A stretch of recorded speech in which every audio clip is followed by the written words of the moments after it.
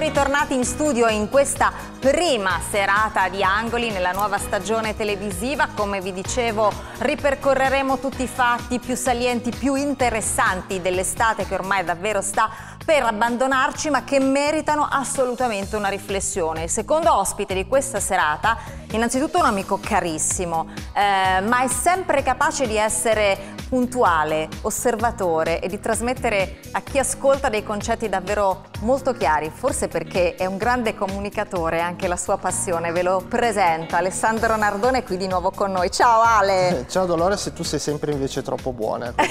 non è vero, perché tu sei uno scrittore, abbiamo letto moltissimi dei tuoi libri con piacere e li conserviamo perché ci aiutano molto a vivere in questo mondo che sta cambiando, questo sarà anche un po' l'argomento, ma tu sei anche un social media strategist, quindi insomma la comunicazione, il modo di porsi, studi il tuo, quello delle persone che ti stanno intorno, ma anche quelle ovviamente dei grandi personaggi. Quindi la politica dell'estate che come dicevamo sta per chiudersi, quale grande personaggio ha visto in Italia? L'estate si chiude, potremmo dire, aprendo una stagione che si preannuncia molto interessante, che è quella che ci porterà alle elezioni europee. Come abbiamo visto c'è eh, grande fermento, grande movimento eh, in questa eh, scomposizione e ricomposizione di quelli che sono gli schemi a cui eravamo abituati che evidentemente non esistono più. Perché? Partiamo subito da qui. Perché è cambiato il mondo. Eh, bisogna partire anche nel mestiere che faccio. Molte volte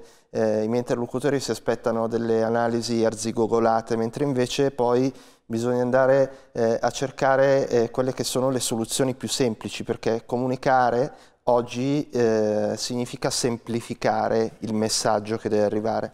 E quindi eh, gran parte della eh, vecchia classe politica che ancora oggi eh, rappresenta milioni di elettori non si è resa conto, dimostra di non essersi resa conto che è cambiato il mondo, sono cambiate quelle che sono le aspettative pers delle persone, sono cambiate le condizioni in cui le persone lavorano, è cambiato il mercato del lavoro, sono cambiati i problemi a cui devono far fronte le persone. Quindi eh, cambiano dovrebbero cambiare anche le soluzioni. Eh, invece noto che ehm, la parte diciamo, eh, che una volta si riconosceva eh, nel cosiddetto schieramento eh, di centrosinistra, e non mi riferisco soltanto all'Italia, perché questa è una crisi che come vediamo è mondiale dagli Stati Uniti eh, all'Europa, eh, è una crisi profondissima di identità, cioè loro eh, dal mio punto di vista hanno perso eh, quote importantissime di rappresentanza perché hanno dismesso molte, troppe delle istanze eh, che prima facevano sì che loro prendessero voti, ad esempio, in grande eh, prevalenza nella, nelle classi medio-basse, eh, quindi nelle fabbriche che tra l'altro eh, sono sempre di meno, nei quartieri popolari, che invece oggi, e non è certamente un caso, votano eh, in larga parte per i partiti che vengono considerati, etichettati eh, come eh, populisti. Quindi detto questo, oggi nel panorama che hai descritto molto bene, eh, che caratteristiche deve avere un vero leader politico Ma... e se c'è in Italia, secondo te chi è? Beh, oggi sicuramente, ed è molto semplice risponderti, abbiamo Salvini e Di Maio che incarnano alla perfezione il come arrivare. Poi non sta a me in questa sede dire che quello che, stiano facendo, che quello che stanno facendo sia giusto o meno, attenzione. Io dico soltanto una cosa, che eh, noi abbiamo a disposizione mh, uno strumento che è il web, eh, che ci ha messo davvero eh, nelle condizioni di poter arrivare a chiunque. Eh, però molto spesso anche qui si perde di vista eh, la, la, bilateralità dello strumento, ovvero un altro errore che fa chi eh, non ha molta dimestichezza o chi eh, purtroppo ha questo atteggiamento anche nella vita eh, quotidiana, quindi offline, eh, è quello di usarlo in maniera eh, verticale. Quindi eh, è esattamente come eh, se io non stringessi la mano a una persona che viene eh, da me per presentarsi o, chi, eh, o se guardassi chi ho di fronte dall'alto verso il basso. Quindi l'uso che ne fanno Salvini, Di Maio e come loro gran parte della generazione che sta venendo fuori dei politici eh, di oggi è esattamente questo, l'aver compreso che è uno strumento che va usato in maniera orizzontale, quindi mettendosi sullo stesso piano delle persone. Le persone oggi per diversi motivi, L'altro giorno è stato eh, caduto l'anniversario della crisi eh, drammatica del 2008, no? la bolla speculativa. Eh, sono cambiate tante cose e la gente chiaramente eh, è eh, più eh, arrabbiata nei confronti della, della, classe dirigente.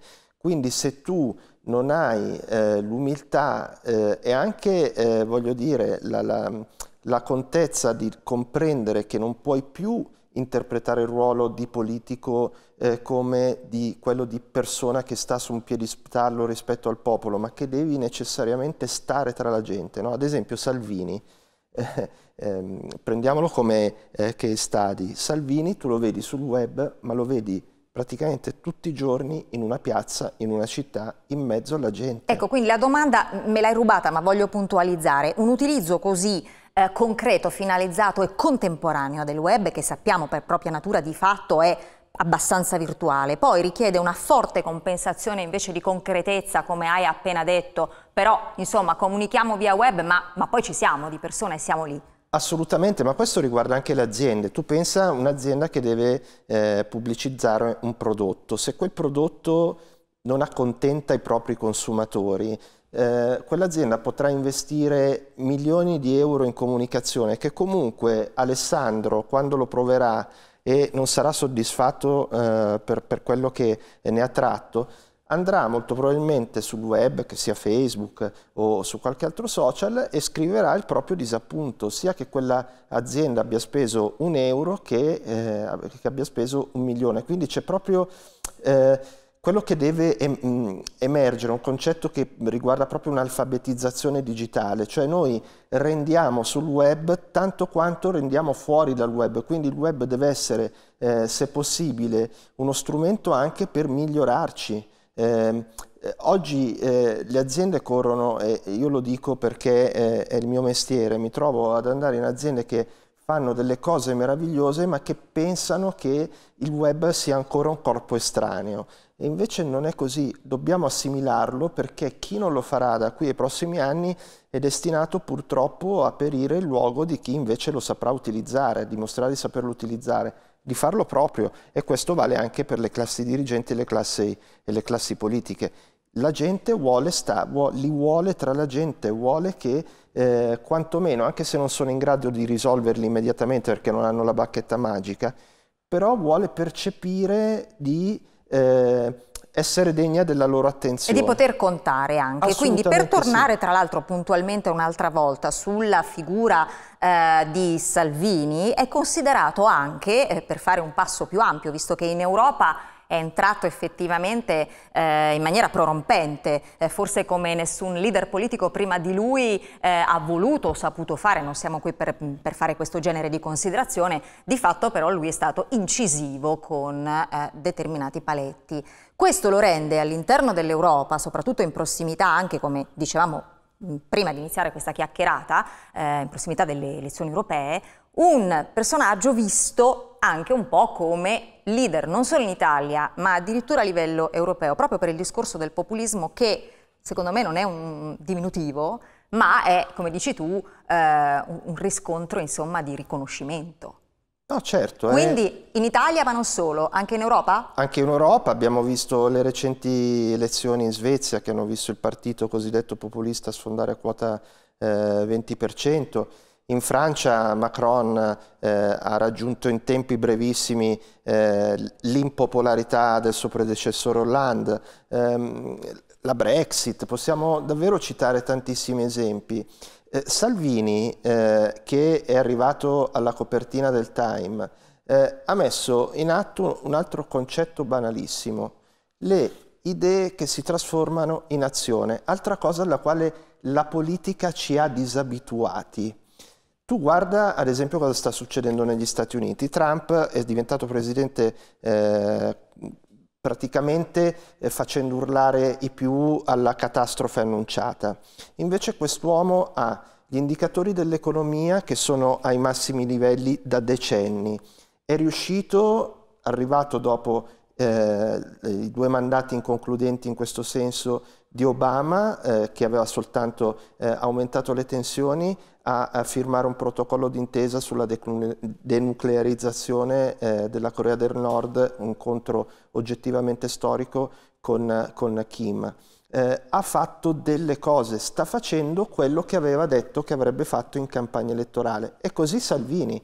Salvini ha detto che si sarebbe occupato di immigrazione, che avrebbe fermato gli sbarchi e lo sta facendo e la gente lo premia per questo motivo e l'opinione pubblica lo premia per questo motivo perché lui sta dimostrando con i fatti di essere fedele a ciò che diceva.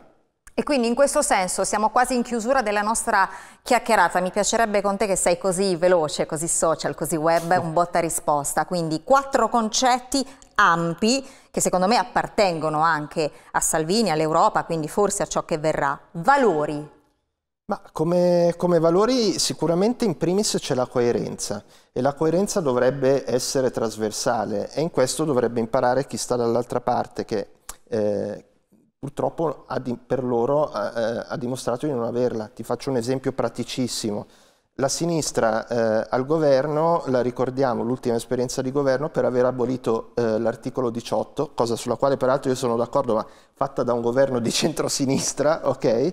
Eh, e eh, per aver aiutato con soldi pubblici le banche. Giusto, non giusto, non sta a me dirlo, ma di certo non sono due macro argomenti eh, che eh, fanno contente le persone. Quindi Certamente. La coerenza, bisogna tornare a una riscoperta dei valori e capire innanzitutto, ma questo vale anche per noi, se non sappiamo noi stessi chi siamo, dove vogliamo andare, difficilmente riusciremo ad ottenere eh, dei risultati e così accade anche per i partiti politici. Velocissimo, confini anche nel web. Eh, mm, nel web, eh, scusa non ho capito la domanda. Se appunto i confini che devono determinare determinate operazioni all'interno dell'Europa, eh, come abbiamo detto, sì. insomma, sovranismi e Beh, figure confini, leader e quant'altro, esistono anche nel web. Il, il, web si caratterizza e ha caratterizzato la propria rivoluzione per averli eliminati quei confini, tant'è che adesso sta eh, prendendo corpo proprio dal web, perché arriva da Steve Bannon, che è stato lo stratega, eh, colui il quale ha consentito a Trump di vincere eh, la sua campagna elettorale, di creare questo movimento transnazionale eh, che si chiama The Movement, che sta tenendo a battesimo proprio in queste settimane, eh, è venuto l'altro giorno eh, a Roma, a dimostrazione eh, esattamente di questo concetto che il web è riuscito nel bene e nel male, attenzione, anche a eh, globalizzare quelle che sono le opinioni e a globalizzare eh, in un certo qual modo anche i problemi. Se tu ascolti eh, le persone, eh, gli elettori eh, americani, sentirai che hanno più o meno gli stessi problemi eh, che hanno gli elettori italiani e quindi le le domande, le richieste e le soluzioni eh, sono mutuabili anche da un paese all'altro. Alessandro, io ti ringrazio tantissimo come sempre per questa bella chiacchierata davvero costruttiva ma molto concreta nonostante si sia mossa poi nei confini del web. So che ci sono cose importanti, nuove, vicine, delle quali eh, ah, mi auguro tu vorrai venire a parlarne qui. Se lo, se lo, se lo vorrete sarò ben felice. È un arrivederci a prestissimo. Per ora grazie davvero ad Alessandro Nardone. Grazie a te grazie a tutti voi. E grazie anche a voi per essere stati da subito in questa prima serata di Angoli in mia compagnia. Ovviamente ci rivediamo domani, rimanete lì, tra poco c'è la nostra informazione.